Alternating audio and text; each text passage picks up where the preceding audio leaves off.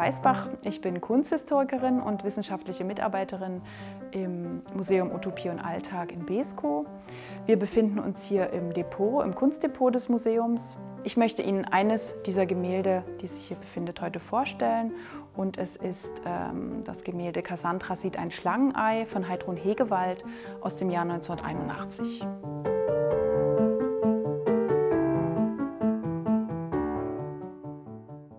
Wir sehen ein äh, Gemälde, auf dem sich mehrere Personen befinden.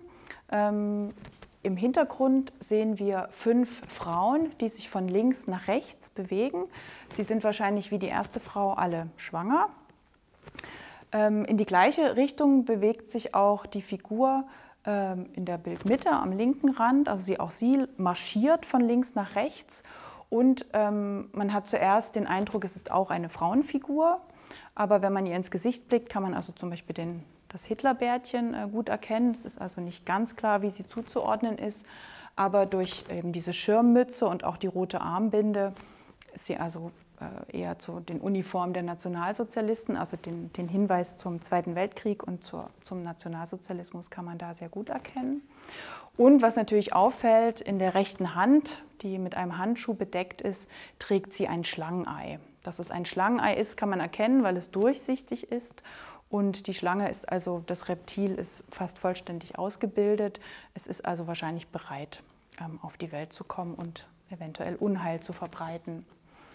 Ähm, diese gleiche Durchsichtigkeit, wie man eben auch bei dem Schlangenei äh, sieht, sieht man auch im Gesicht der Frau im Vordergrund. Also die Haut ist sehr angespannt, durchsichtig, man kann fast eben auch die Schädelkonturen erkennen. Ähm, sie ist als Halbfigur dargestellt. Ihr langes, glattes Haar fällt ihr also frei auf die Schultern. Und ganz zentral, sie hält ihre rechte Hand an den geöffneten Mund. Sie scheint also zu rufen, zu schreien, zu mahnen. Ähm, und die linke Hand hält sie schützend um ein kleines Kind, was sie also am Kopf hält, den Kopf äh, zuhält.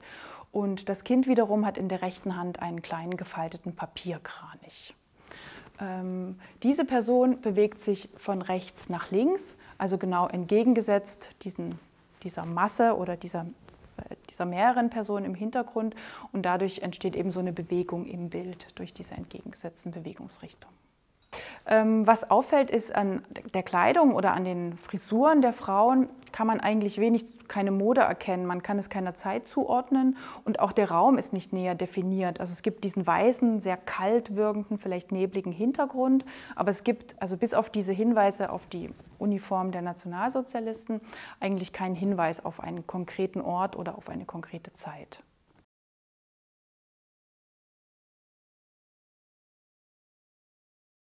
Also es ist als erstmal ein Querformat, ähm, vielleicht auch die Maße dazu, 1,35 Meter hoch und 1,55 Meter breit.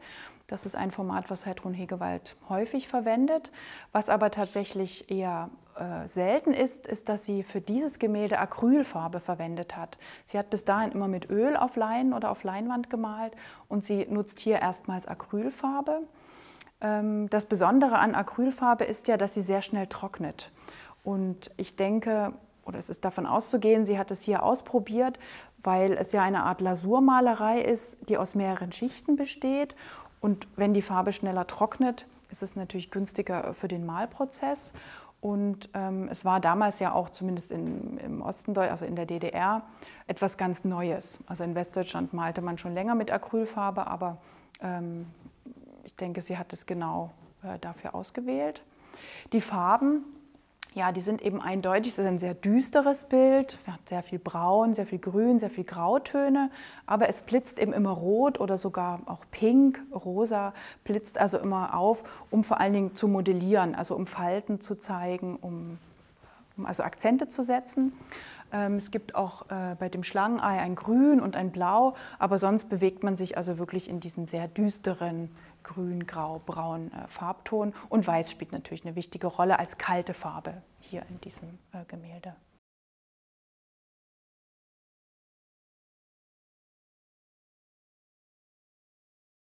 Also es ist, äh, Heidrun Hegewald hat es 1981 gemalt. Ähm, Sie war damals 45 Jahre jung und eben als freischaffende Künstlerin, als Malerin und Grafikerin ähm, tätig in der DDR, in Ostberlin, der damaligen Hauptstadt der DDR. Ähm, sie hatte nach einer Kindheit in Dresden, also Kindheit und Jugend in Dresden, ähm, zunächst in Berlin Modegestaltung studiert und dann an der Kunsthochschule in Weißensee Grafik. Ähm, da war sie zum Beispiel, ähm, eine ihrer Kommilitonen war Nuria Quevedo, die ja später auch eine sehr bekannte Künstlerin in der DDR geworden ist. Und ihre Lehrer waren vor allem Arno Mohr, einer der bekanntesten Grafiker ähm, dieser Zeit, Werner Klemke und auch Klaus Wittkugel, der ja eher über die Gestaltung ähm, bis heute bekannt geworden ist. Ähm, nach der Geburt ihres Sohnes 1961 hat sie zunächst als Buchgestalterin und Illustratorin gearbeitet. Und erst als sie 1970 Meisterschülerin wurde bei Werner Klemke, den sie ja eben von der Kunsthochschule Weißensee kannte, äh, begann sie auch künstlerisch äh, zu arbeiten, als Malerin und als Grafikerin. Ihre frühesten Werke datieren eben auf 1973 und es ist interessant, weil hier im Bestand in Besko gibt es auch ein Werk eben genau aus diesem Jahr von ihr. Das heißt Chile 1973 und bezieht sich eben auf den Putsch und auf die aktuellen politischen Verhältnisse dort. Und auch da zeigt sie eben nicht die kämpfenden Männer, sondern sie zeigt eine Mutter mit Kind. Also das ist eben so ein typischer, äh, typisches Thema für sie, Famili familiäre Beziehungen, aber eben vor allem Mutter-Kind-Beziehungen. Heidrun Hegewald war dann eigentlich schon ab Anfang der 70er Jahre, kurz nachdem sie eben begonnen hat, auch künstlerisch zu arbeiten, auf den Kunstausstellungen in der DDR vertreten mit ihrer Malerei, aber eben auch mit ihren Zeichnungen und äh, ihrer Druckgrafik. Auf diesen Berliner Bezirkskunstausstellungen genauso wie auf, großen, auf den großen Kunstausstellungen äh, der DDR, die in Dresden alle drei bis vier Jahre stattfanden. Und sie hatte 1980 ihre erste Einzelausstellung in Potsdam. Ähm, bereits Ende der 70er Jahre begann sie sich mit dem Thema der Cassandra zu beschäftigen. Es gibt eine ganze Reihe von Zeichnungen äh, zur Cassandra in verschiedenen ähm, Konstellationen.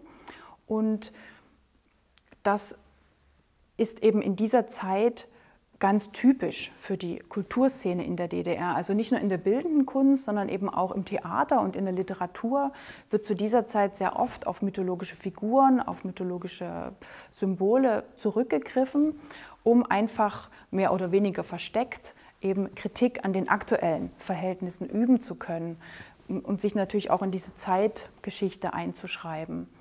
Also Heidrun Hegewald konnte auch davon ausgehen, dass das Publikum die Metapher versteht. Ähm, das bekannteste Beispiel ist ja Christa Wolfs Erzählung Cassandra, die dann 1983 erschien, ähm, aber auch zum Beispiel Prometheus, Ikarus, Sisyphus, also sind alles mythologische Figuren, die in dieser Zeit wirklich eigentlich durch die Kultur der DDR wandern und in den verschiedensten Formen eben als Möglichkeit äh, benutzt werden, eine Kritik zu äußern, ohne sie direkt am, am an der aktuellen Situation äußern zu müssen.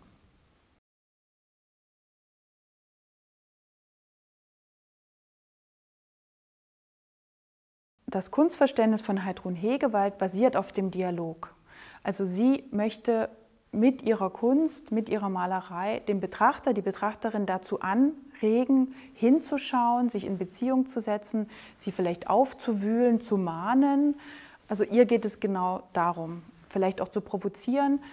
Also die Inhalte, die sie darstellt, möchte sie, dass das Publikum eben darauf eingeht und ähm, ja, möglichst nicht gleichgültig ist. Also sie möchte eine Reaktion provozieren, sei sie positiv oder negativ, aber es geht ihr darum, eben äh, keine Gleichgültigkeit zu, ähm, zu, zu, erzeugen.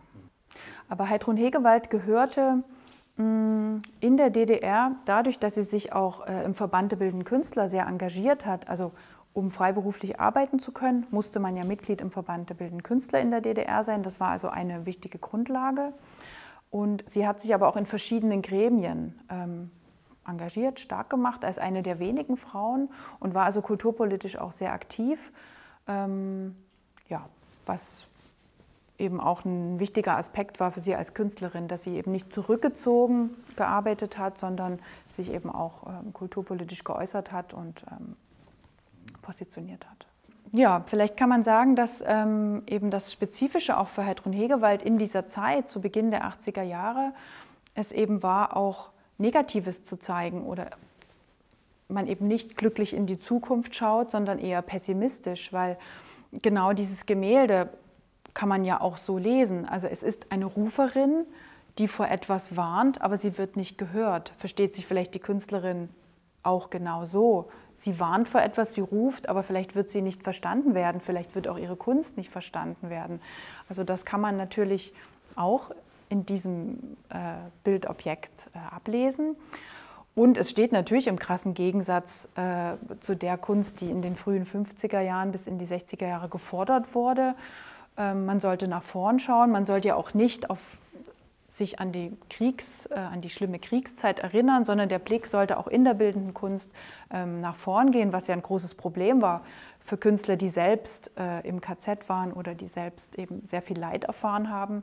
Selbst die sollten das nicht aufarbeiten, sondern eben ähm, auch in die, in die Zukunft blicken. Und Heidrun Hegewald macht eben genau das nicht. Also sie greift diese Angst vor dem Krieg, vor dem Wiederkommen einer einer kriegerischen Auseinandersetzung, aber ganz aktuell eben auch die Angst vor dem Atomar, vom Atomkrieg auf ähm, und zeigt das natürlich entgegen äh, einer positiven Welteinstellung.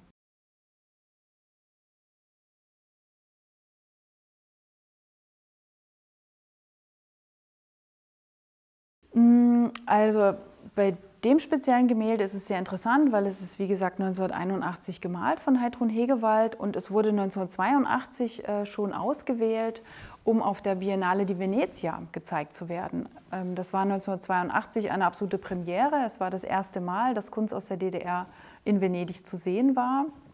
Es waren insgesamt vier Künstler, also neben Heidrun Hegewald noch die Leipziger Volker Stelzmann, und äh, Sigrid Gille und der Hallenser Uwe Pfeiffer. Ja, vier relativ junge ähm, Künstlerinnen und Künstler. Und Heidrun Hegewald hat also genau dieses äh, Gemälde gezeigt, neben anderen. Die waren zu sehen im venezianischen Pavillon, auch ganz interessant, also natürlich nicht im Germania im klassischen äh, deutschen Pavillon in Venedig. Da zeigte Westdeutschland, also die damals sagt man BRD, ähm, die Kunst. Und es wurde auch in der internationalen Presse natürlich dankbar aufgegriffen, dass es einmal diese Andeut diesen andeutungsreichen Realismus, wie es zum Beispiel hieß, ähm, in der DDR äh, gab und eher die monochrome und abstraktere Kunstauffassung von Westdeutschland.